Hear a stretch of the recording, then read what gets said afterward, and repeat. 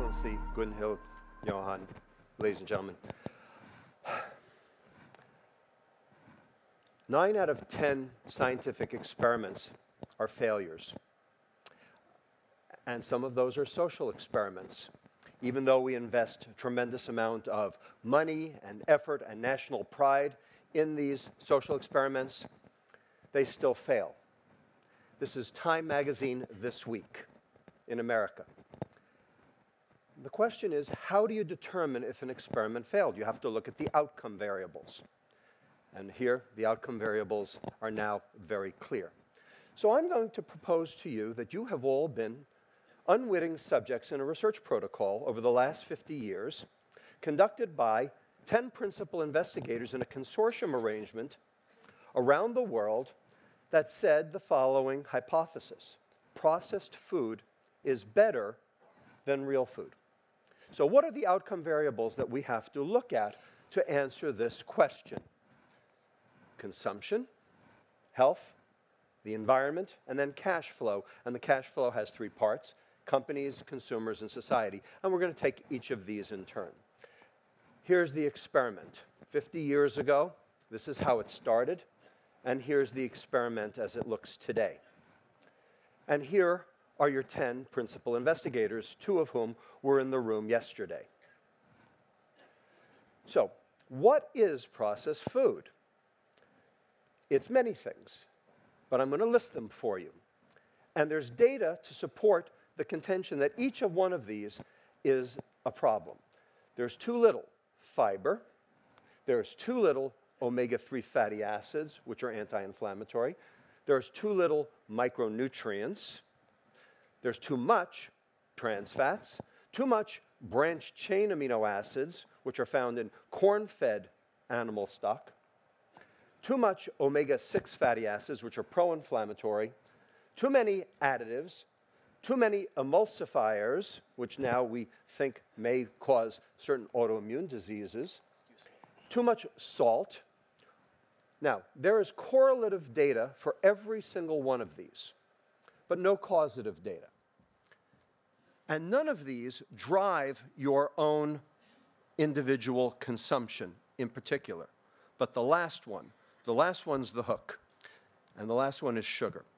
And sugar, and, Doc, and Gary Knell and Mattias Klum neglected to show you this National Geographic cover, says that sugar is very specifically addictive.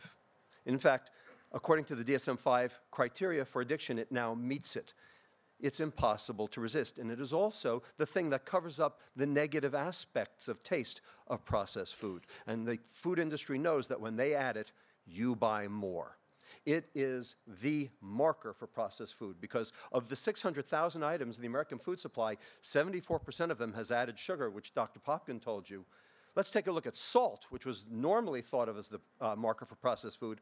Only 50% of those items have a greater than the recommendation for added salt. So sugar is the marker for processed food. And we will limit our discussion for the rest of this time about sugar specifically because we have the data. So let's talk about consumption. So everyone will say, well, we're eating more, and indeed we, we are.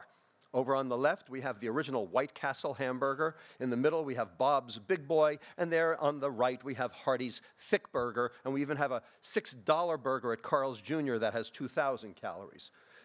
I call this slide very specifically the Coca Cola conspiracy, and you can see all of the increases in sizes. So, why do I call it a conspiracy? So, what's in Coke?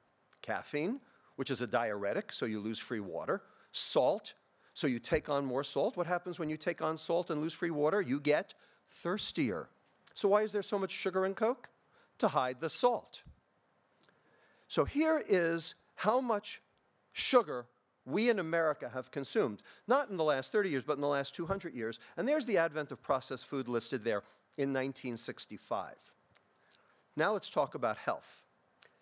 So, over the past 20 years, you can take a look and see blood pressure down, uh, uh, cholesterol down, physical activity up, smoking down. We should be reaping a health benefit, and we are not, because obesity and diabetes are through the roof.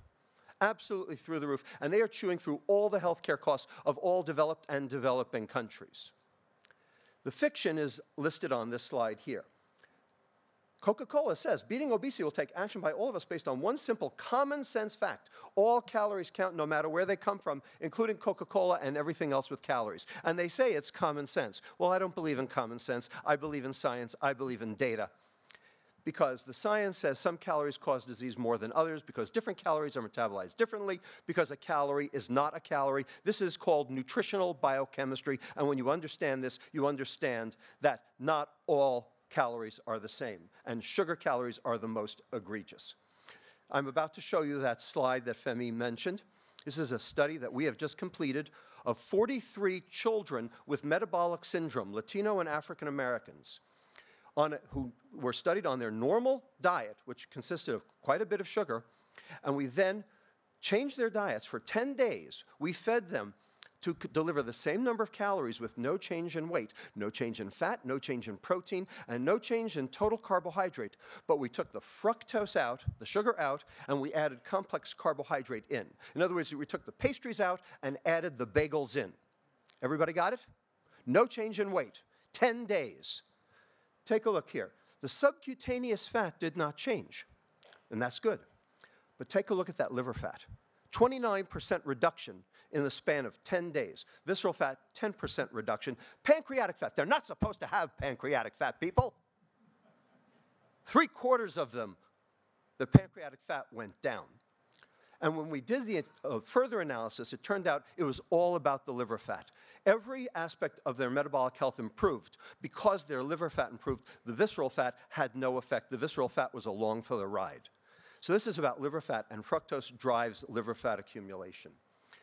We also know that sugar sweetened beverages increase risk for diabetes. This is a study from the EPIC Interact study, where every sugar beverage controlling for obesity and controlling for uh, total calories increases your risk for diabetes by 29%.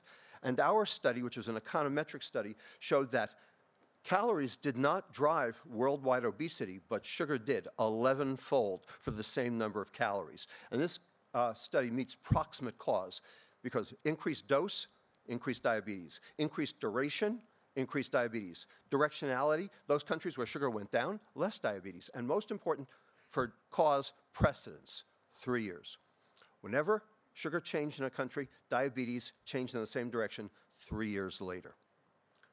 This is a study that came out last year showing cardiovascular mortality increasing as the percent of calories of added sugar in the diet also increased and more than half of the US population has an increased risk for heart disease death due to their added sugar consumption.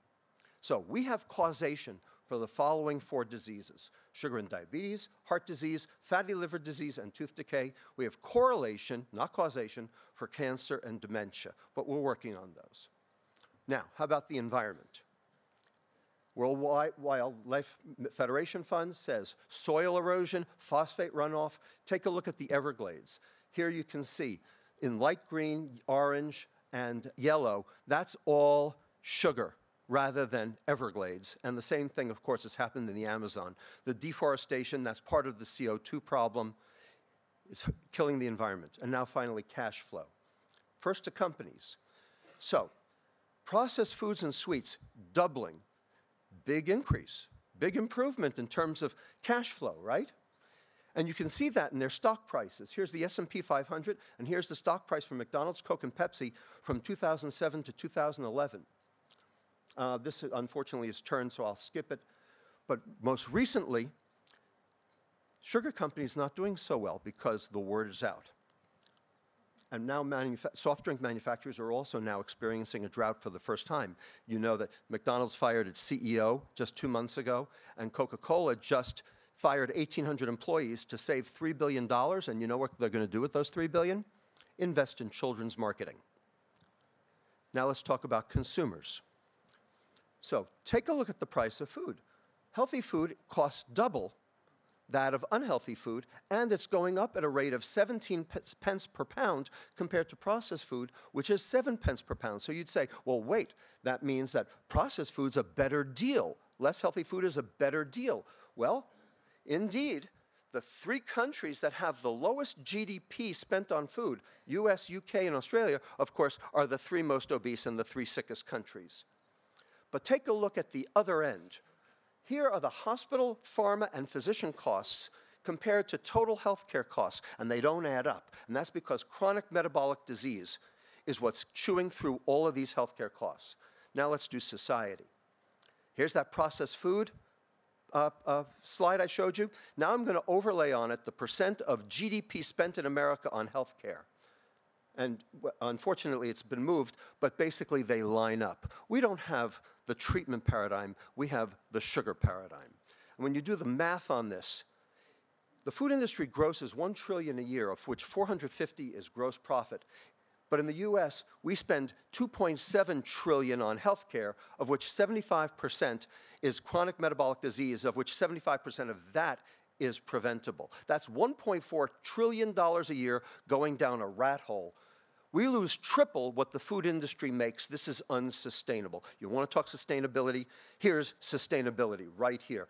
And Social Security requires young people who are healthy to pay in. Well, now they're sick and they're taking out, and Social Security is crumbling all over the world. This is from Morgan Stanley showing the rate of economic growth based on our obesity and diabetes epidemics, based on high sugar, in orange and low sugar in blue. And if we're on high sugar, which is where we are now, we are approaching zero economic growth by the year 2035. Mars, the candy company, knows this. And they came out in support of the US dietary guidelines to reduce added sugar consumption to 10% or less. A candy company, sugar is their stock and trade, and they know this. And why do they know this? Because they're privately held because they don't have to make Wall Street reports, because they don't have to worry about their jobs. That's what this is about, people. So let's do the scorecard. Consumption, way up.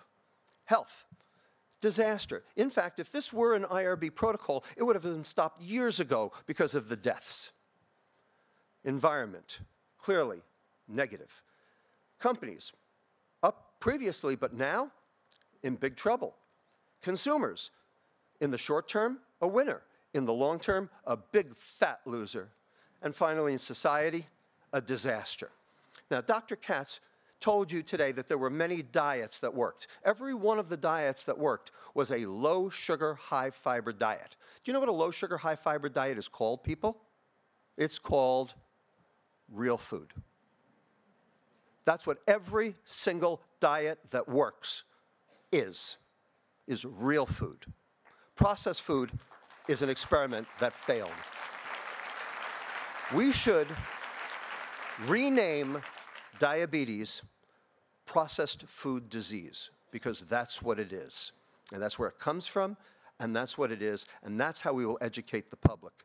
And I also suggest, as a second proposal, if we got rid of federal subsidies for all of these commodity crops, which are driving this metabolic disease epidemic, we could solve this problem. The only uh, uh, crop that would go up in price, sugar. The Giannini Foundation from Berkeley found that. Only sugar, and that's what we need.